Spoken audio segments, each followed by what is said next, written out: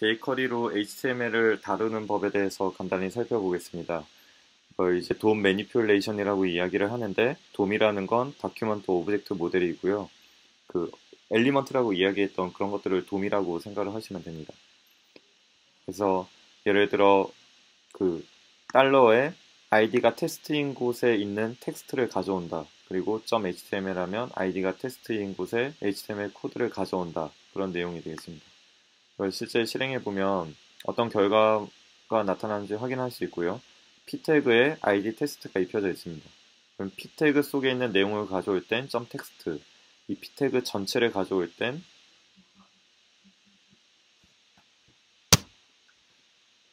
이제 코드를 살펴보겠습니다. p 태그에 id 테스트가 있습니다. 그래서 show text를 하게 되면 this is some bold 하면서 그대로 그냥 텍스트 자체만 나옵니다. Show html 하면 html 코드, 이 b 태그라고 입력되어 있던 이것도 잡아냅니다. 그러니까 순수한 텍스트만 뽑아내느냐 아니면 html 태그 포함해서 뽑아내느냐 그 차이가 있습니다. 그 다음 예제를 살펴보면 샵 테스트, id가 테스트인 지금 인풋 창에 그 id가 매겨져 있습니다. 여기에 value가 저장되어 있는데요. 이건 사람이 입력한 값이죠. 그 value의 값을 가져와서 보여주는 겁니다. show value 하면 미키 마우스 얘를 미키만 쓰게 되면 show value 했을 때 미키가 뜨게 됩니다. 이 value를 미리 박아두는 것은 Rails에서 살펴봤듯이 어떤 이미 저장되어 있는 값을 이렇게 인풋 창에 자동 완성시켜두는 것과 마찬가지고요.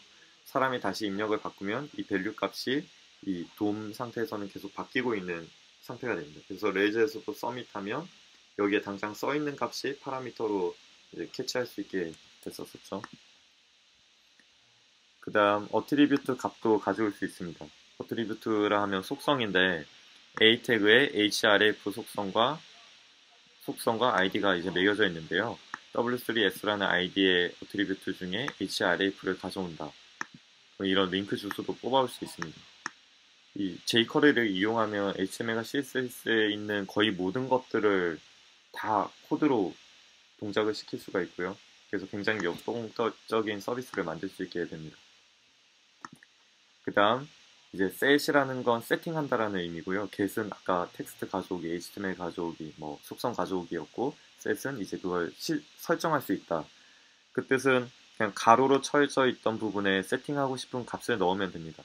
HTML도 세팅하고 싶은 값을 넣으면 이게 그대로 들어 대신해서 들어가는 겁니다. value도 덮어 씌울 수가 있고요. 사람이 키보드로 입력하는 게 아니라 직접 그냥 코드가 입력할 수 있게 바꿀 수가 있습니다.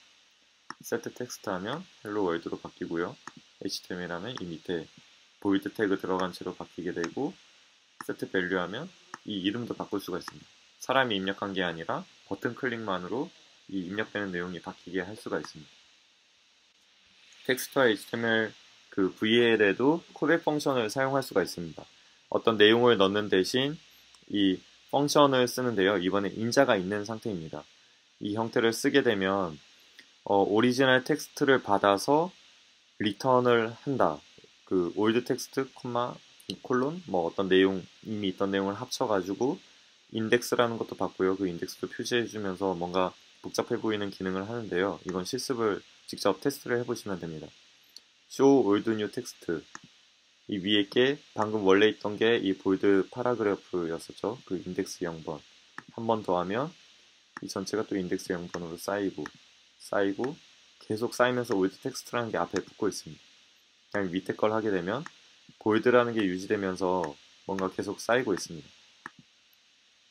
지금 i라는 게 제대로 작동은 안 하고 있는 것 같긴 한데 어쨌든 callback으로 이전에 있던 origin 텍스트를 받아서 이제 리턴을 어떤 텍스트를 덧붙여서 계속 리턴 리턴 리턴 해가지고 뭔가 지금 당장 어떻게 활용할지 모르겠지만 반드시 이런 기능들이 필요할 때도 있을 겁니다.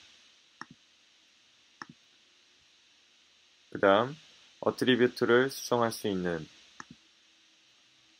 어떤 속성 href를 컴마 한 다음에 이런 내용으로 바꾸겠다 이렇게 되는 겁니다. 지금 W3 스쿨로 연결이 되어 있는 걸 이제 change href value로 해서 클릭하면 jQuery 튜토리얼이 뜨고 있죠. 다시 리스트해서 원래는 HTML이 떴는데 change 하이퍼링크 하면 이제 jQuery 페이지가 뜨게 됩니다. 여기 있죠. jQuery 이걸 붙여서 바꿔주도록 하고 있습니다. 그 다음 여러 개를 동시에 바꿀 수도 있고요. 그 object 타입으로 묶어주고 있습니다. href와 타이틀 동시에 다 바꾸고 있습니다. 그 다음 마찬가지로 attribute 수정하는 데도 callback function을 사용할 수 있고 뭔가 origin value의 jQuery 이걸 계속 더해서 결국 오류가 나겠죠. 어쨌든 이런 방식도 가능하다는 거 확인해 주시면 됩니다.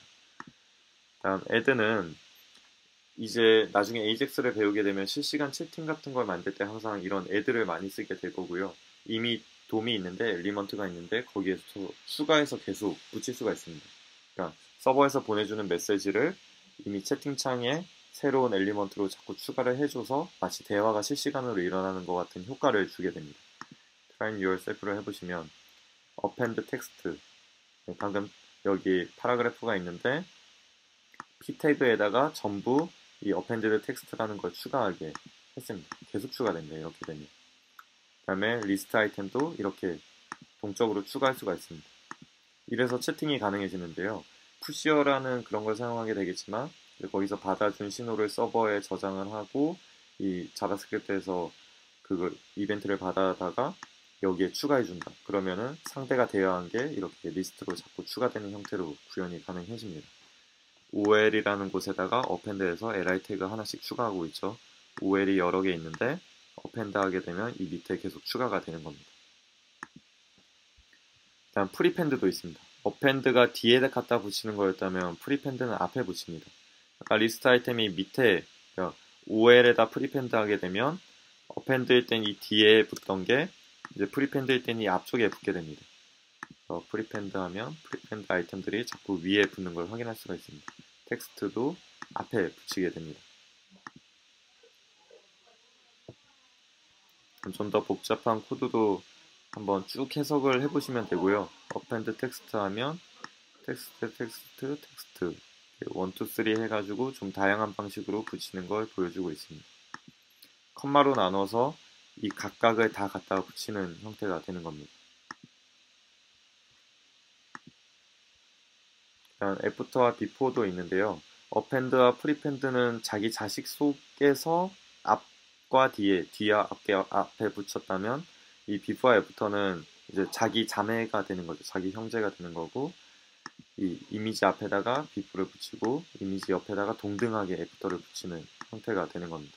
이 이미지 앞에 태그로 바로 비포에 붙게 되는 거고 after는 이 이미지 뒤쪽에 붙는 그런 형태가 됩니다. 각각 용도가 있을 겁니다. 동시에 여러 개 붙이는 것도 가능합니다.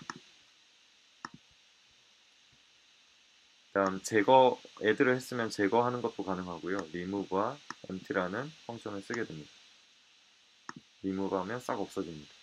div1 id인 걸 싹 날려버린다라는 코드였습니다.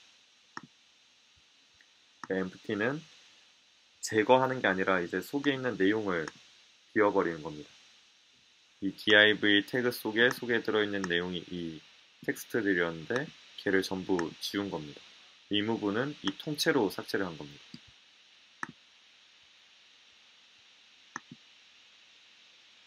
그리고 점 테스트가 있으면 점 테스트 클래스가 있는 애들 이 두 가지를 그냥 삭제하고 있습니다. P 중에서 그 특정 점 테스트라는 클래스를 가진 애들만 삭제를 하고 있습니다. 만약에 얘가 없었다면 이 앞에 있는 paragraph도 동시에 삭제가 됩니다. 이렇게 컴마로 좀 여러 개를 나열할 수도 있고요. 방금 점 테스트와 점 데모가 있었던 애들 3개를 다 삭제했죠. 이것도 확인해 볼 수가 있습니다. 다음 CSS 클래스들에 대한 내용들을 살펴보겠습니다.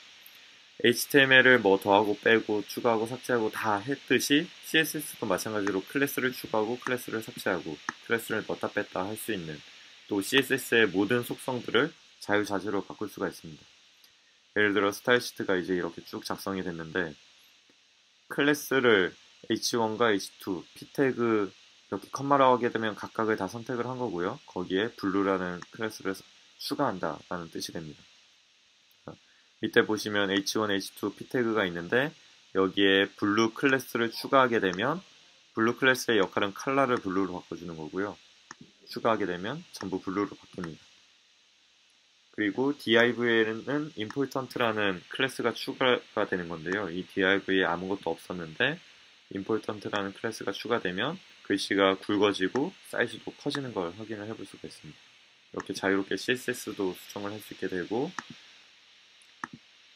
동시에 important와 blue 둘 다 추가를 하고 싶다면 컴마가 아닌 그냥 띄어쓰기로 하시면 됩니다. 추가하게 되면 blue도 되고 이렇게 커지는 것도 확인할 수 있습니다. 샵 div1 이거 하나에 대해서만 적용을 하는 걸 확인할 수 있습니다. 네, 개발자 도구로 보시면 실제로 이 element가 바뀐 걸 확인할 수 있습니다. 원래는 이 클래스 important blue라는 게 없었는데 이 add class라는 애가 이걸 붙여준 거고요. 새로 고침 해보시면 다시 개발자 도구로 찍어보면 아무것도 없죠. 클릭하면 여기 붙는 게 딱 나타납니다. 리무브 클래스도 있습니다. 클래스 붙어있던 걸 삭제하면 이렇게 색상이 싹 빠지는 blue라는 클래스를 삭제해서 얘네가 없어지는 것과 똑같은 효과를 확인할 수가 있습니다. 개발자 도구로 확인하시면 마찬가지로 딱 동적으로 삭제되는 걸 볼 수 있고요. 클래스를 blue라는 클래스를 붙였다가 뗐다, 붙였다 뗐다도 할 수 있습니다.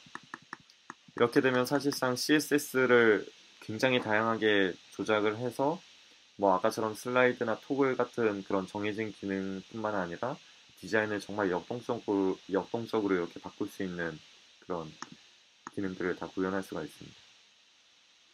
CSS method는 이제 다음 챕터에서 소개를 한다고 하는데요. CSS 클릭하시면 백그라운드 칼라를 겟해 올 수 있는, 가져올 수 있는 코드고요. p 태그의 백그라운드 칼라는 RGB 25500이다. 여기 있죠. 255. FF가 255고요. 00. 그래서 p 태그에 CSS를 가져온 건데 이 p 태그가 사실 여러 개 걸리는데 어떤 값 하나를 가져와야 되니까 그냥 가장 첫 번째 있는 애를 가져오게 된 겁니다. 그리고 세팅할 때는 property name, property name만 쓰면 get해 오는, 받아오는 거고요. 이거 컴마하고 세팅할 거 하게 되면 이제 값을 바꿀 수가 있습니다. 보시면 background color를 yellow로 바꾸죠. p태그에 대해서. p태그가 3개나 있으니까 이 모두가 yellow로 바뀔 겁니다. get해올 때는 일단 대표적인 가장 첫 번째 거 하나만 가져왔는데 이제 set하는 건 모든 P에 대해서 다 세팅하는 걸 볼 수가 있습니다. 그 다음 object로 묶게 되면 여러 속성들 background color도 바꿔주고 font size도 바꿔주고 key value, key value 쌍으로 이 모든 걸 표현해 줄 수 있습니다. 글씨도 바꾸고 background 색깔도 바꾸고 그렇게 적용이 됩니다. 다음 마지막으로 dimension이라는 걸 살펴볼 텐데요. 이제 CSS에서 margin과 padding, border 이런 것들을 전부 어, 가져오고 세팅할 수 있는 방법입니다. 마찬가지로 get 가져온다, 그리고 set한다, 세팅한다 그 의미입니다. 보시면 버튼을 클릭했을 때 텍스트의 내용을 지우고 대신 텍스트에 이제 이 string을 더하는 문자열을 더하는 겁니다. width of div전은 샵 div1 디비전 id의 미스 가로값 그리고 br 태그 먹이고 세로값 그리고 이 텍스트가 그러면 txt라는 게 쫙 문장이 만들어지죠. 그걸 html에 삽입해서 div 내용을 바꾼다. 한번 보겠습니다. 클릭하면 width of div의 300 height of div 100 지금 이 코드가 이 텍스트들을 넣어주게 된 거죠. 차근차근 살펴보시면 앞에서 말씀드렸던 모든 내용들이 적용돼 있어서 그렇게 어렵지 않게 동작 원리를 확인하실 수가 있을 겁니다. 다음 이너 위스, 내부의 위스를 찾아보는 거고요. 버튼을 클릭하면 이 가로폭이 300, height가 100이었다면 inner width of div는 320이고 inner height of div는 120. 20씩 커진 걸 확인할 수 있습니다. 이게 어디서 나오냐 하면 이 padding이 10이라는 것에서 나옵니다. 기본 위스는 300인데 패딩 10, 10해서 320이 이너 위스가 된 겁니다. 자세한 이 구조들은 이 그림을 살펴보시면 됩니다. inner height, height가 이 안쪽을 가리킨다면 inner height는 border의 바로 안쪽까지, 즉 padding을 포함한 것까지. 그 다음에 outer height까지 다 포함하면 보더도 두께를 뭐 2, 3픽셀씩 더 줄 수도 있죠. 그 다음 margin까지 다 추가되면 아우터 아웃 헤이터와 아우터 대문자 height, true까지 옵션 주면 전체 사이즈를 다 가져올 수 있네요. 네. 이런 것들로 찾아올 수가 있습니다. width와 height를 가져오는 법 이것들을 다 보시면 됩니다. 세팅할 때는 그냥 위스하고 500, height도 500 resize 하면 500, 500으로 수정해 주는 걸 확인할 수가 있습니다. 세팅할 때는 간단히 어떤 게 값이 뭐다 그런 식으로 다 지정을 해주시면 됩니다.